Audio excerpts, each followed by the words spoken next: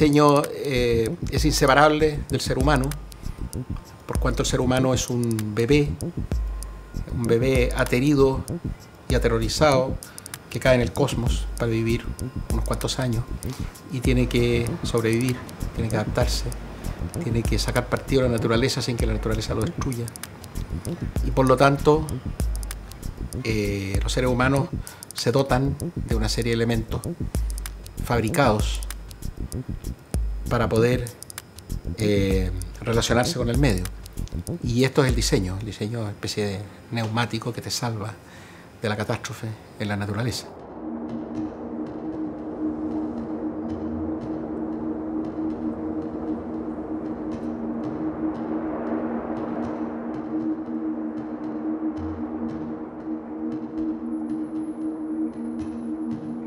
Diseño gráfico es la profesión más antigua del mundo, no es la prostitución.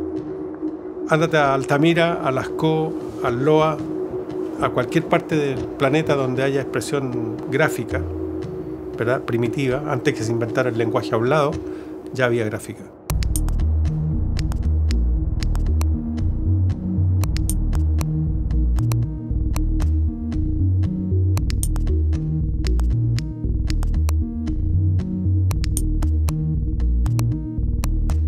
No resiste análisis decir que el diseño gráfico se inventó con el computador o, o, recientemente. Es tan antiguo como el ser humano, es una expresión del ser humano, la gráfica.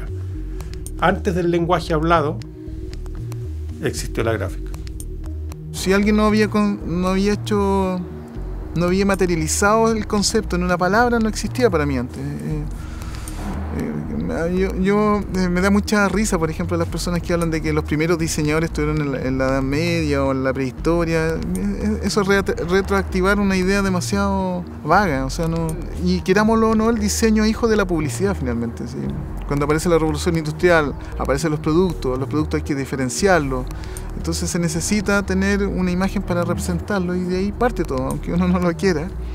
Eh, ese es el germen el inicio o el punto de inflexión para empezar a, o querer decir que el diseño gráfico empieza en un momento, para mí es la, la, eh, la, invención de la imprenta. Yo creo que ahí se marca un antes y un después porque desde mi punto de vista el diseño está, el diseño gráfico está pensado para, para funcionar dentro de, de, las masas, de ser masivo, de, de tener la mayor cantidad de, personas que tengan acceso a esa solución gráfica. Entonces, eh, Siento que en ese sentido la imprenta logró eso, logró que, los textos eh, se, expandieran, digamos, en, ciertas, las comunidades, fueron eh, cambiando, poniendo otro, tipo de, tipos gráficos en la imprenta, agrandando, achicando las imágenes que iban, eh, cambiando las tintas, cambiando los papeles, en fin, y toda esa perfección fue llevando a, para mí a, los inicios del, diseño gráfico y de, la y de, fondo ir perfeccionando el producto, lo que es ese, lo que siento yo que hoy día el diseño gráfico hace es ir perfeccionando productos que se vienen perfeccionando desde, desde, desde hace mucho tiempo.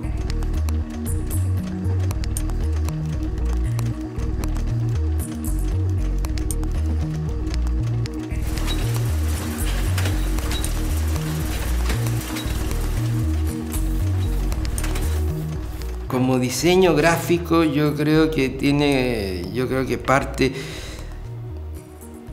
tal vez inicia, digo, en la época de, los primeros movimientos del siglo XX, la Bauhaus, Steel, donde se trabaja, se trabaja el diseño. No solamente eran escuelas que se dedicaban a la arquitectura, sino que al diseño de productos y al diseño gráfico. Yo creo que ahí, ahí parte como disciplina.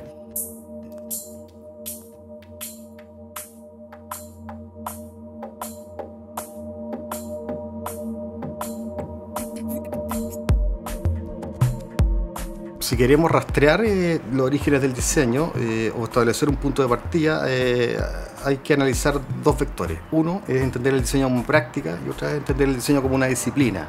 Si lo entendemos como una práctica, el diseño podría haber aparecido en la prehistoria. El diseño podría haber aparecido con la invención de la imprenta y los tipos móviles, o el diseño podría haber aparecido durante la segunda revolución industrial. Si lo entendemos como una disciplina proyectual, en un sentido más estricto, el diseño parte a partir de la segunda posguerra, cierto momento en que después del hito que fue la Bauhaus, se eh, fundan las primeras escuelas de diseño en Estados Unidos y en Europa.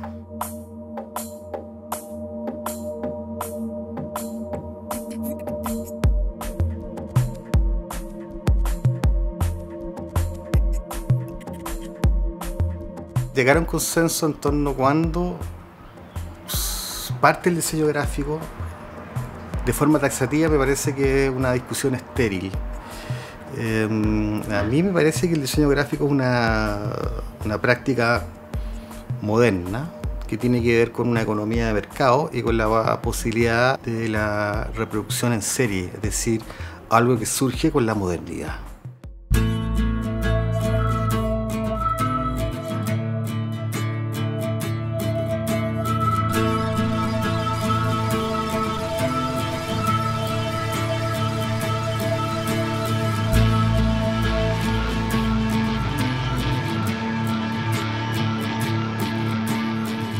Cuándo verdaderamente se hace diseño gráfico en Chile.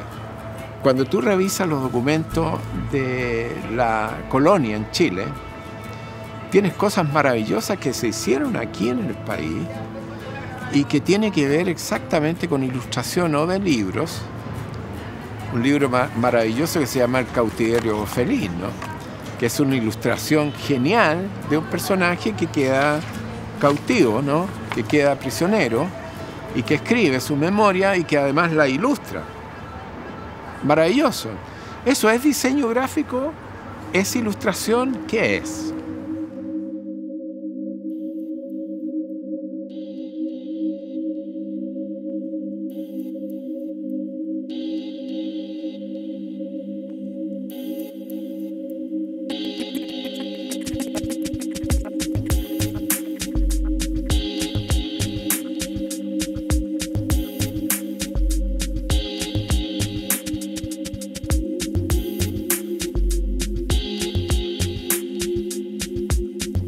Más interesante de la discusión que hoy estamos sosteniendo es que más allá de buscar precursores, creo que lo importante es reconocer cómo el diseño se gesta en un proceso más amplio culturalmente, eh, un proceso que decanta hacia los años 60, pero que encuentra cimientos importantes en eh, momentos de reforma como 1928, sin ir más lejos, arte aplicada empieza con una reforma y termina con otra, reformas educacionales y también en cambios culturales que tienen que ver con el cambio de siglo chileno, con el paso de la vida decimonónica a la vida urbana, no todavía la vida moderna, pero sí a la vida urbana, con cambios culturales que significan eh, la ampliación del público que puede eh, acceder a la educación.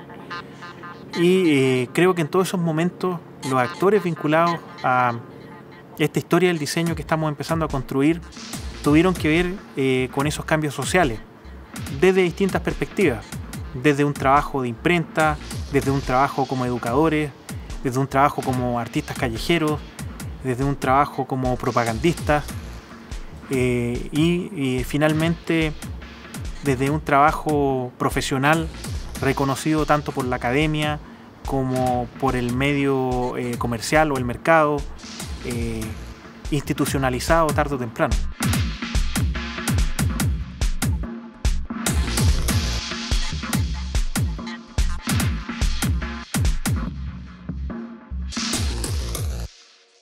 En el caso de Latinoamérica, el diseño eh, como disciplina proyectual ¿cierto? se comienza a desarrollar especialmente en la década del 60 y, el término diseño se comienza a transformar en un, en un, concepto recurrente recién a fines de los 60. O sea, institucionaliza a partir de ese periodo. Entonces podríamos decir que en Chile el concepto de diseño como lo entendemos hoy en día reconoce una historia de aproximadamente 40 o 50 años.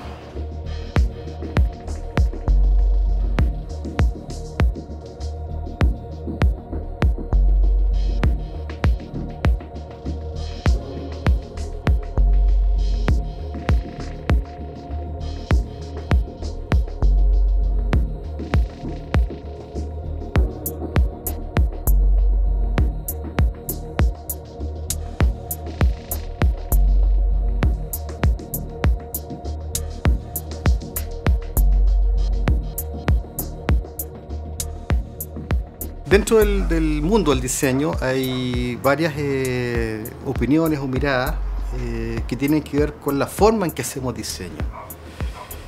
Algunas con mayores matices, otras con menos matices. Sin embargo, hay como dos eh, posturas que asuman con mayor nitidez. Una postura tiene que ver más con el diseño gráfico y también con las prácticas artísticas, que sostiene que el diseño tiene que estar de alguna forma basado en la intuición del diseñador, eh, que rescata mucho los procesos de inspiración, los procesos creativos, eh, vehiculados siempre para producir ¿cierto? un objeto que va a ser reproducido y que tiene un cierto entronque con lo que se llama diseño de autor. También una mayor vinculación con lo que llamamos estilo.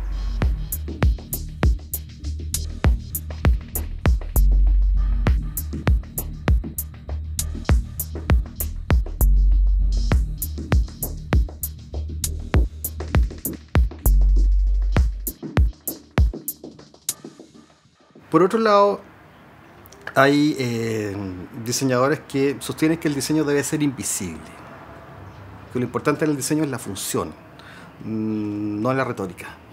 Y ahí hay una, una, forma de hacer diseño que está basada en metodología, en testeos, en recibir el feedback de los usuarios, es decir, un diseño que está centrado en el usuario.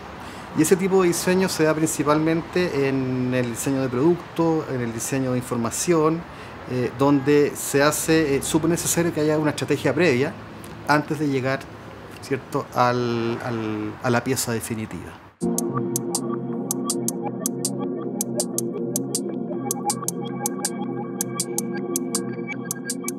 Comienza a separarse el diseño ya en los arbores del siglo pasado de lo que significa el arte. Es decir, el diseño siempre ha sido parte de las artes. Lo malo que las artes nunca lo comprendieron al diseño, no le dieron la misma mano que nosotros le dimos a las artes en nuestra concepción y en nuestro quehacer. Yo creo que hay una importancia de relaciones. Si trabajamos con imágenes gráficas pertinentes a la comunicación visual, en diversos soportes. No estoy hablando de lo específico, ni estoy hablando de la tela, ni estoy hablando de soporte afiche, estoy hablando de los eh, aspectos comunicacionales. Y de allí creo que eh, se produce esta separación funcional del diseño. Creo que separa a las artes la función. El diseño está comprometido con establecer una comunicación funcional con la gente. Las artes actúan en la forma del criterio y el sentimiento que el artista tiene en determinado momento.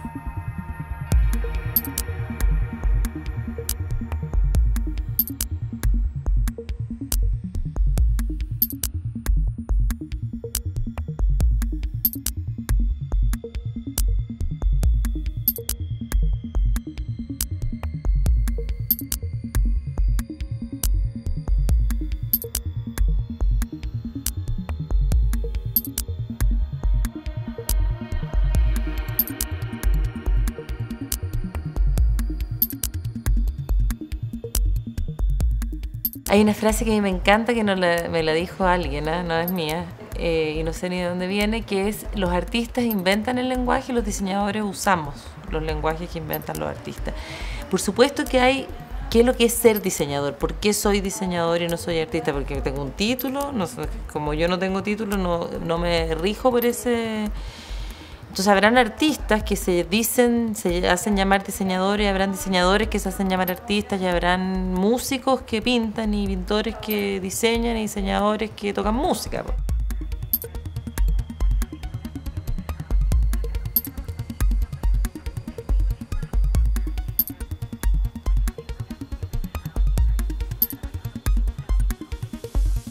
Yo creo que el diseño tiene que resolver problemas.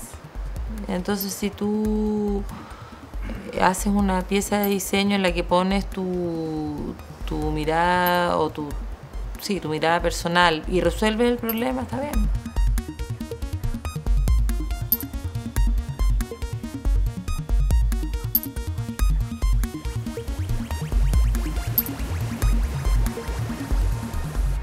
La manera de decirlo es casi como colocar a los artistas en el lado malo y los diseñadores en el lado bueno. No es, no es, no es tan sencillo, digamos, pero, pero sí a veces confundir eh, la comunicación, como decía antes, con, con este otro aspecto eh, autoexpresivo solamente, es peligroso.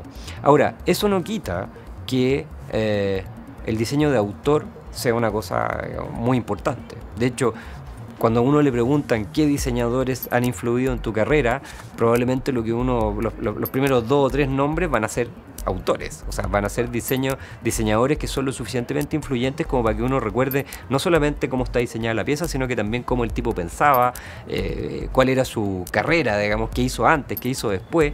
Entonces, yo creo que no necesariamente es lo mismo. O sea, un tipo como, no sé, Joseph Miller Brockman, eh, el, eh, uno de los paladines, por así decir, de la retícula suiza, digamos, del diseño racional, eh, era un autor.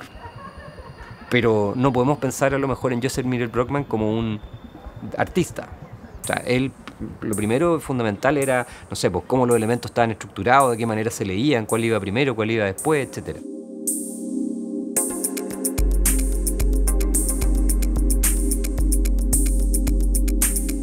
Diseño siempre está en relación a un encargante, es un encargo, puede ser un autoencargo, puede ser un encargo un tercero, pero es un encargo al fin de cuentas, porque está situado en lo que eh, es el mercado, es distinto al arte. El arte eh, eh, solamente se da cuenta a sí mismo, no tiene por qué darle cuenta a los demás. El artista se da cuenta a sí, a sí mismo de lo que debe hacer y lo que quiere hacer, y si a alguien le gusta, lo prefiere, que bueno, pero si no, a mí me da igual. Es un, es un- es un acto propio e individual.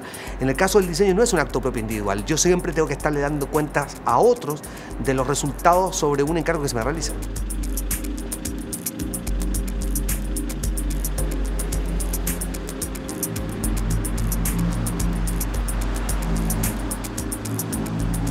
Es empanadas de horno, ¿verdad? Del productor hay que llevarlo al consumidor, o sea, a los clientes de esa persona que fabrica empanadas de horno y hay que saberla comunicar de tal manera que el mayor número de personas entienda que son empanadas de horno, ¿verdad? Entonces, eh, para nosotros es un, es un proceso totalmente racional en el cual encontramos la información, la tenemos que sintetizar, graficarla para que sea entendida por la mayor cantidad posible de personas. Y eso es una técnica, ¿verdad? Es un proceso de comunicación. Ahora, no es como yo personalmente sienta qué es el concepto de empanada, pinte un cuadro y lo cuelgue en un museo. O hago una escultura de la empanada, como yo la siento. No, el sentir personal mío no puede estar involucrado en mi expresión de comunicaciones. Porque la expresión de comunicaciones es un mensaje que emite un lado y va recepcionado por otro y va a haber un feedback, una respuesta que se va a traducir en, una, en, aceptación de una idea o, o en la compra de una empanada, ¿verdad? O de lo que sea, no es solamente compra, es aceptación de ideas, es comunicación.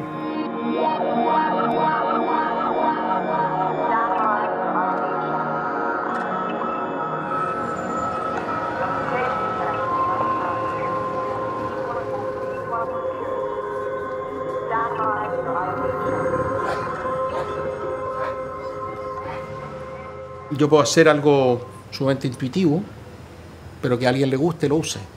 Jugar con unos trapos en la cabeza, resulta que de repente es un gorro y alguien lo quiere y, y tiene una función. Eh, el diseño es diseño cuando tiene función, si no, no es diseño, es otra cosa. Pero a la vez es diseño cuando es una obra. Es decir, hay un autor, una obra, producto, es decir, se usa más en diseño un producto, un uso, un usuario. Esto es lo que genera la cadena del, diseño. Eh, el diseño se valida con, con los usuarios, pero pueden hacer tanto de un autor como de un encargo.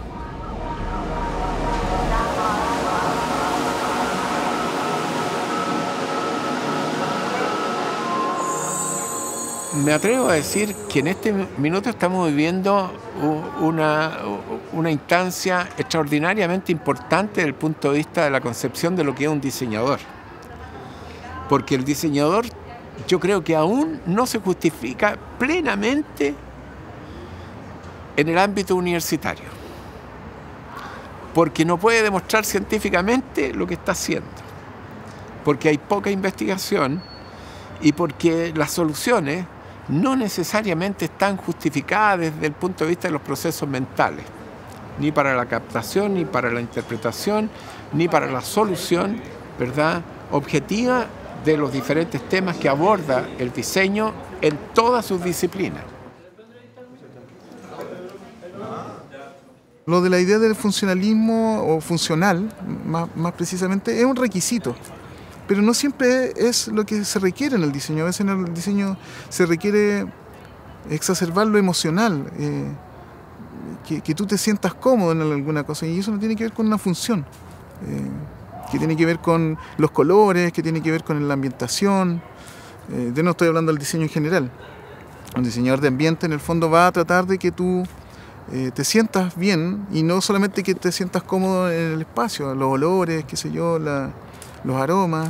eh, hay una serie de cosas que escapan a lo funcional y que, que es como de nuevo la- cómo se está mirando al hombre, que ahora se desmiente, ¿verdad?, que todas las decisiones, por ejemplo, sean racionales. O sea, la emoción es un, está impregnada dentro de la razón, no son, no son cosas que tú puedas separar. Hay una- un aspecto primario anterior al hecho funcional que el hecho espontáneo, creativo.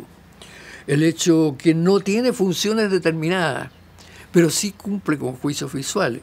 Es la parte intuitiva del diseño.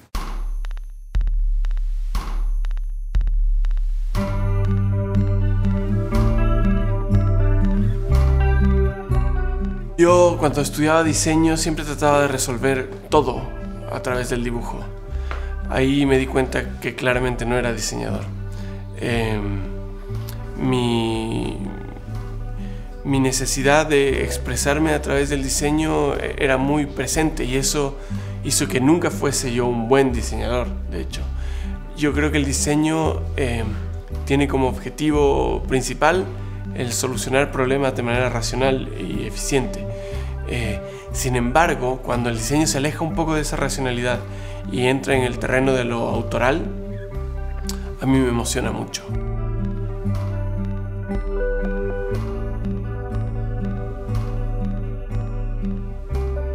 Tiene que ver también porque cuando está bien hecho el diseño no se nota o no debería notarse.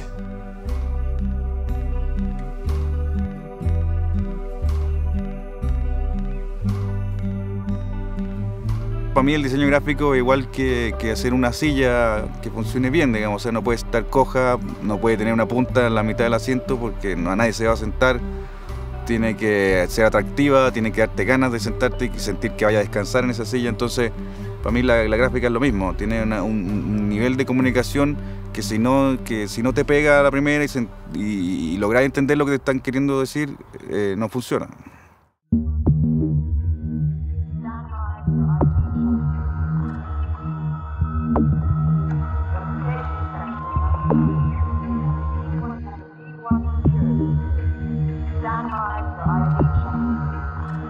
El diseño, antes que ser diseño, es un proceso mental. Es la búsqueda a través del pensamiento, ¿cierto? Y de mm, estimar, creer que un elemento que es necesario resolver puede venir con una forma determinada. Ya sea esto para la industria, ya sea para las comunicaciones, ya sea para el mundo de los objetos, ¿verdad? Para cualquier campo en donde se ha insertado la disciplina. Diseño es la función creadora al servicio del hombre. Diseño es eh, establecer los parámetros de la visualidad en cualquiera de sus productos y sus funciones en relación al entorno humano. Diseño es comunicación, no solamente desde el punto de vista gráfico, sino que desde el punto de vista de productos, de muebles, de interiores. Diseño es eh, establecer alma a una serie de elementos que la sociedad va a utilizar. Diseño es eh, proyectar un interior hacia un exterior en relación a las necesidades humanas. Eso para mí es diseño.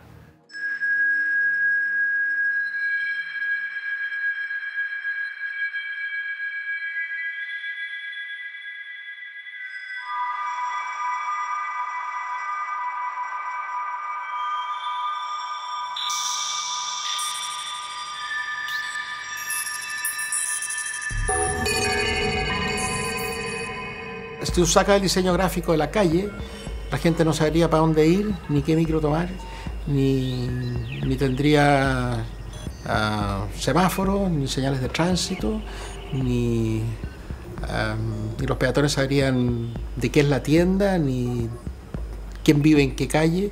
Yo creo que nadie piensa, el diseño se va haciendo, es como automático. Está ahí, la gente lo usa. Eh, un poco lo que ha pasado con el, con el Home Center, con el Home Depot, que el diseño viene dimensionado. O tú te quieres hacer una mesa, compras los pedazos y te armas tu mesa. Eh, y te quieres hacer una silla de lona y lo mismo, y te quieres hacer un jardín y lo mismo.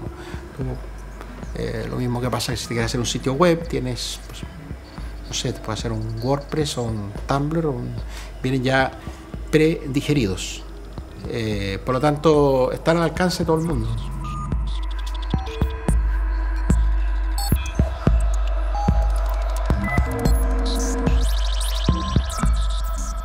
Yo creo que el diseño hoy día, eh, su riqueza, su interés puede estar en los matices que una actividad interdisciplinaria como el diseño eh, eh, posee y que creo yo constituyen su mayor riqueza, su apertura a distintos saberes, su capacidad de vincular a distintos ámbitos del conocimiento.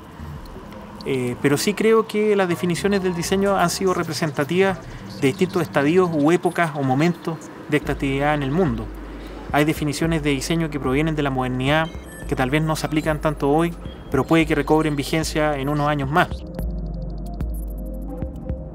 Las definiciones de diseño son importantes por cuanto definen un contexto, momento o una problemática o una coyuntura. Pero creo que hoy eh, el interés mayor del diseño está en esta capacidad de generar vínculos, redes, de construir espacios nuevos dentro de la cultura, dentro de la economía de un país, dentro de los mercados, dentro de las posibilidades eh, de inserción eh, para la gente joven eh, y también de generación de riqueza no solo económica, sino también cultural.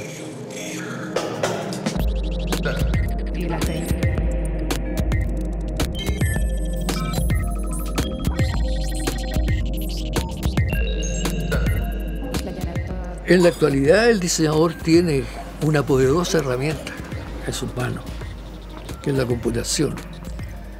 A diferencia nuestra, que un proceso de diseño eran días, el proceso de diseño actual son horas. Hoy día el diseñador tiene un instrumento que lo maneja muy rápidamente, que busca variables visuales muy rápidamente, las proyecta y las desarrolla en dos o tres estilos en minutos y manda sus diseños a la imprenta desde el mismo computador. Es poderoso en ese sentido. Me gustaría, sí, que a ese poder le agregara, aunque sea un poquitito de alma.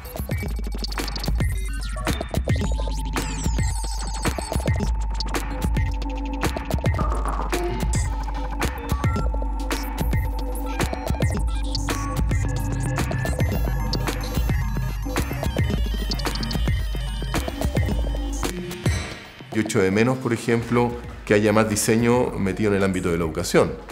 O sea, si uno mira los libros con que están hoy día educándose los alumnos de la educación pública, son libros donde claramente hay un diseño funcional, pero no hay un gran diseño.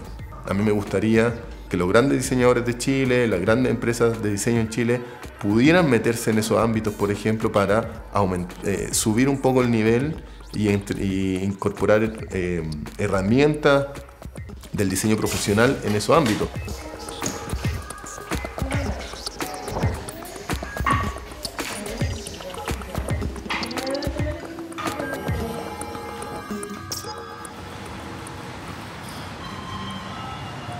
En la salud, si uno revisa, por ejemplo, todo el tema eh, de la papelería de la salud, es decir, un- una persona que llega a una, a una posta que tiene que inscribir sus datos en una ficha, si uno revisa esa ficha, la comunicación gráfica que esa ficha ofrece son muy pobres, porque son fichas muchas veces resueltas ni siquiera por diseñadores, son resueltas por enfermeras, por los mismos funcionarios, y ahí hay espacios de diseño gráfico donde el diseño gráfico puede hacer aportes interesantes.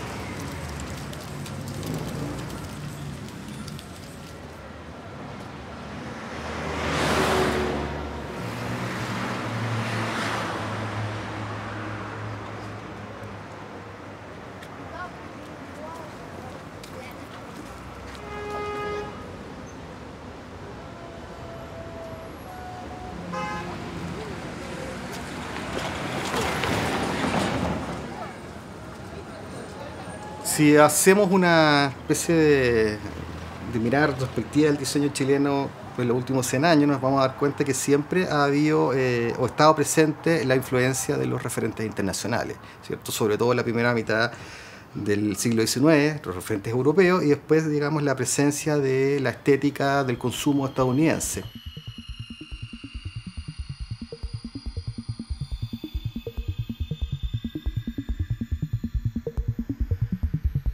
Hay, hay una tensión, un conflicto, una suerte de hibridación que se produce, eh, lo que hace que sea difícil hablar de una identidad propia del diseño chileno. Eh, eh, incluso a lo mejor no tiene sentido, ya que somos una, una cultura híbrida, ¿cierto? Y nuestras prácticas culturales, nuestras construcciones sociales también responden a esa lógica. Incluso eh, hay quienes sostienen que no tener identidad puede ser una forma de identidad. Yo diría que el diseño gráfico chileno eh, tiene momentos en que hay una búsqueda, una búsqueda de una suerte de visualidad propia. Probablemente sería eh, súper ambicioso buscar un, un diseño 100% local, en el sentido como de, de la raíz. Eh, creo que a lo largo de toda nuestra historia está comprobado que, eh, no sé, somos, somos unos mestizos. O sea, eh, muy pocos elementos son, son propios así de naturaleza. Eh, fueron a lo mejor incas por el norte, después a lo mejor españoles, después toda la presencia europea, no sé, Francia, Alemania, en fin, o Norteamérica, eh, y todos esos elementos eh, en cuanto, no sé, comunicaciones, publicaciones, revistas, maneras de enseñar, visiones del mundo, eh, nos afectaron, entonces, pero eso también es chileno, nosotros de alguna forma lo, lo- lo adaptamos a nuestro a nuestro lenguaje, a nuestras palabras, a nuestras maneras de hacer. Ahora, ¿qué tan, ¿qué tan diferentes pueden ser de otras partes que también vivieron bajo las mismas condiciones? La verdad que no muchas.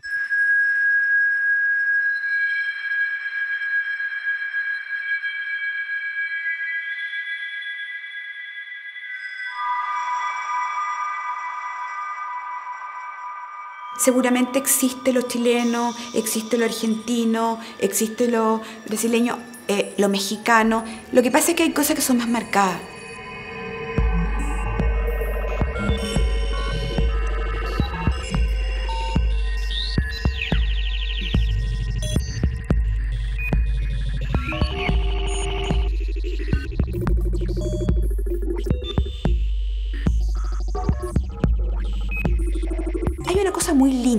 Que sería el rescate de las cosas que son realmente nuestra identidad. Nuestra identidad es la cordillera, nuestra identidad es nuestra arquitectura, nuestra identidad es cómo somos, nuestra identidad es el pedazo planta que tenemos. O sea, y esas cosas son las que si uno mira y de alguna manera empiezan a formar parte de las representaciones que hacemos, empiezan a ser nuestra identidad. No la marca que uno hace. Eso no vale nada, una lata.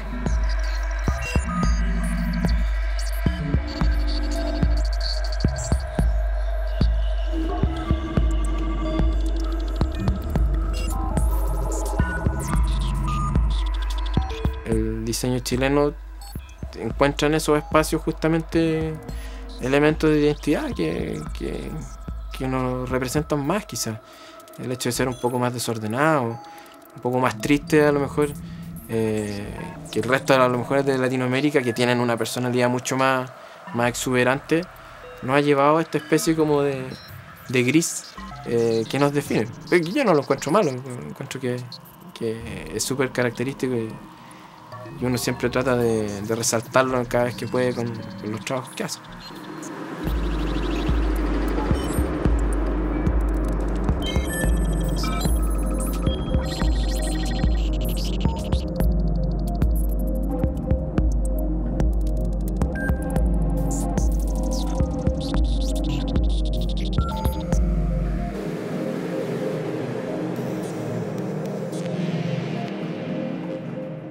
Nosotros podemos rescatar elementos que son de la cultura popular.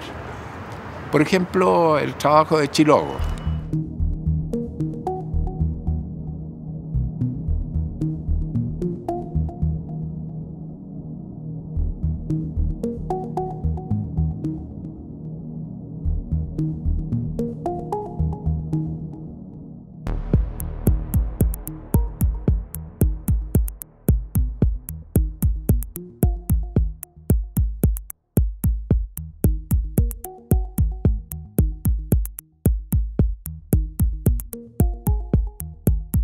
Esos elementos son de la cultura popular, más que originados por la cultura popular, son reconocidos definitivamente por la cultura popular. Por lo tanto, ¿cómo llegamos a identificar un diseño propiamente nuestro?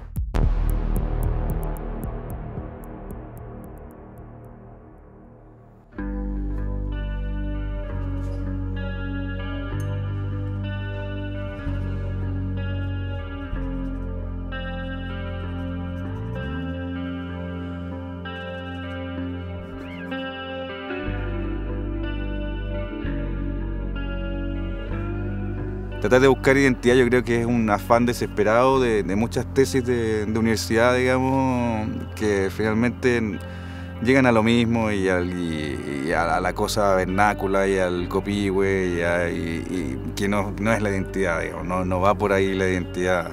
Entonces, yo creo que hay que, hay que asumir un poco esto de la, de la, de la falta de, de, de- como de identidad de país, digamos, eh, asumirlo como, un, como una cosa que, que, que que puede ser un poco inevitable por nuestra historia como, como país, pero tratar de buscar eh, originalidad, yo creo que eso, eso para mí es, si logramos encontrar originalidad en el trabajo que hacemos y no, no así como empezar a ver en Google soluciones y hacer una adaptación de, de lo que encontramos, no ser flojos, digamos, en ese sentido, sino que eh, buscar antecedentes por aquí por allá. A lo mejor se puede empezar a, encontrar cosas, digamos, pero, pero quizás muchas veces caemos en eso, en, flojera, digamos, ¿no? en, en- no, no, no, no- rebuscarla mucho. Y quizás eso hace que también cueste encontrar una, una identidad en, en lo que hacemos. Quizás la identidad del chileno es que es medio flojo.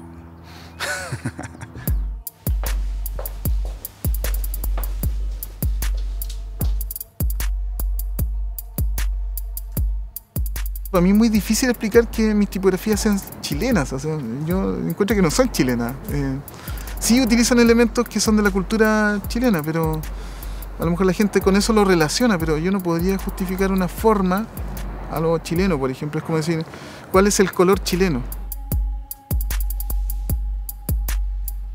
los mejores que pueden decir eso son lo, las personas extranjeras. O sea, como que la, los extranjeros ven en uno cosas que uno nunca se había fijado y uno dice, ah, esto es muy chileno. Y dice, pero eh, ¿de qué está hablando? O sea.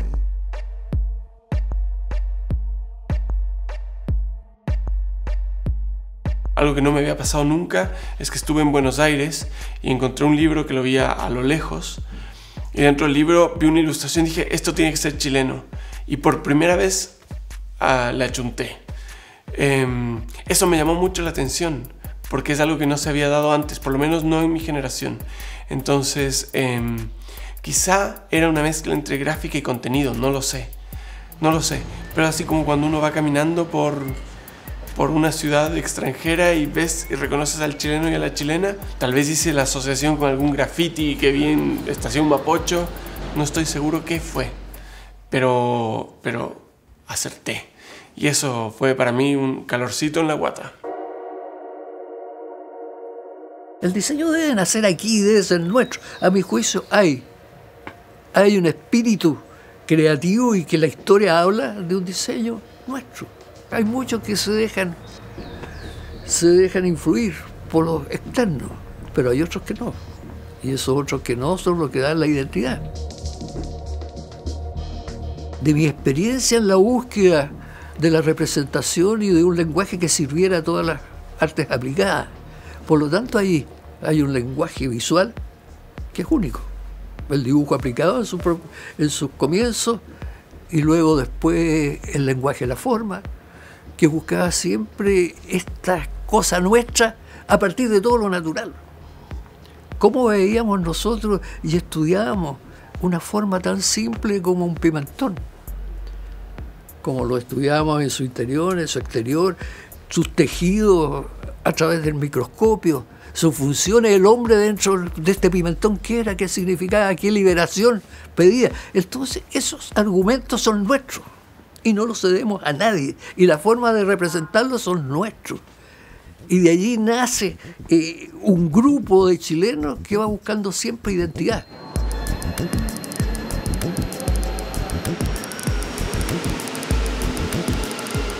Ahora bien es cierto que en este momento actual la tecnología nuevamente nos produce, nos produce un, un alto.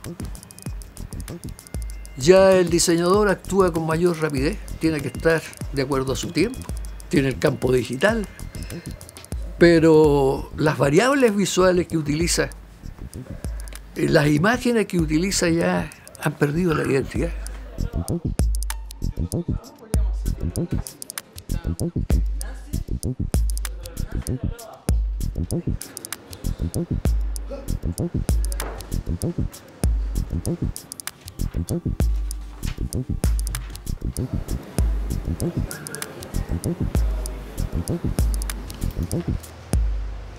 Tendería a pensar de que hay características que pueden, pueden darse en ciertas circunstancias en donde uno puede ver la, identidad, pero a mí me parece que hay una preocupación del tema identitario que, es como valorar lo nuestro. Y yo creo que ahí hay cosas que son interesantes porque eh, es mirarse de nuevo entre nosotros y no mirar hacia afuera, que eso a mí me tiene muy contento por lo demás, porque es como, como lo contrario de lo que pasaba en la década de los 80. Eh, la referencia era todo Estados Unidos principalmente y Europa, como te decía. Entonces, eh, nunca he hecho el ejercicio de decir qué cosas puntuales son, porque de nuevo, en, en, esta idea de que hay varios elementos y que uno no puede separarlos para analizar, uno no le puede atribuir a ese elemento único la razón de la identidad. Tiene que ser en el conjunto y en el contexto de la aplicación.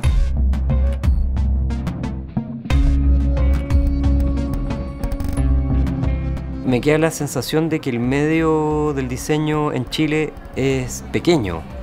Entonces tiende a, también a conformar estas como elementos consolidados, es decir, el diseño es esto, es Julián Naranjo, o el diseño es esto, es Bicho Larrea. Entonces, uno tiene estos polos, por así decir, estos, estos puntos eh, dispersos en un, en un plano, en el cual uno tiende a pensar que esa manera de diseñar se acerca a lo que uno podría pensar que es chileno.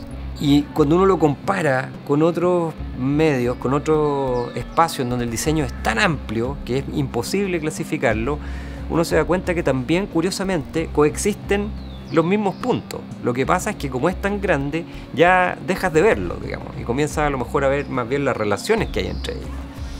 Entonces, yo la verdad es que puesto frente a la pregunta de diseño chileno o diseño hecho en Chile, me inclinaría por la segunda, de todas maneras. Yo creo que se trata de diseño hecho en Chile y ojalá aparezcan muchos más puntos y aparezcan muchas otras maneras de poder diseñar eh, en Chile. Si algunos de esos son eh, incluso reversiones de cosas que ya se han hecho, porque no sé, uno reconoce una influencia o porque uno tal vez encuentra que es un camino que no ha sido lo suficientemente recorrido, me parece bien.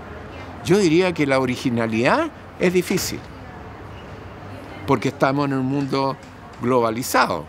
Entonces cuando todos quieren ser uno, ¿verdad? Se pierde eh, la cosa patrimonial de bienes que corresponden a tu propia identidad.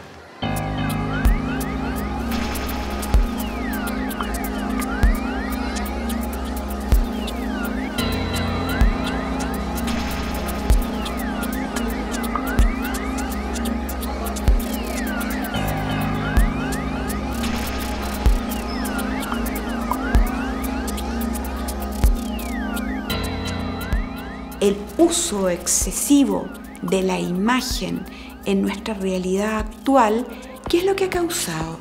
Ha causado que probablemente los jóvenes que llegan a estudiar eh, cometen más falta de ortografía, tienen, tienen una reducción de lenguaje, ¿cachai?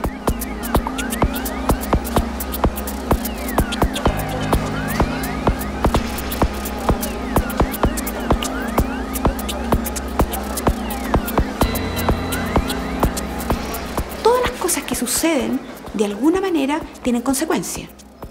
Y el uso, reabuso, agotamiento excesivo de la imagen tiene la consecuencia de que la gente eh, vuela alrededor de las formas y, ¿no es cierto?, no se da los espacios de profundizar más en contenido. Eso ocurre.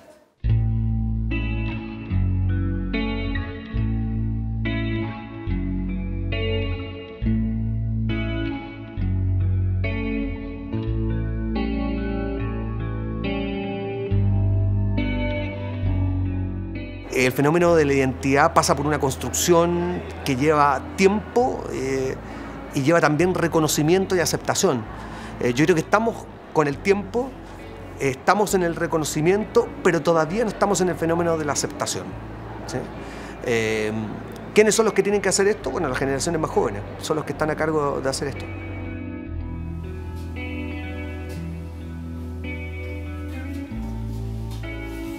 Todos los países tienen particularidades y una historia del diseño gráfico en Chile también tiene su especificidad. Este es un país eh, con un sello, con una impronta propia y el diseño gráfico de alguna manera es una forma de testimoniar la historia de la cultura material de este país. Han ocurrido acontecimientos políticos, sociales, económicos, transformaciones en la población y de alguna manera las piezas de diseño gráfico son testimonios concretos de estos cambios que ha sufrido el país.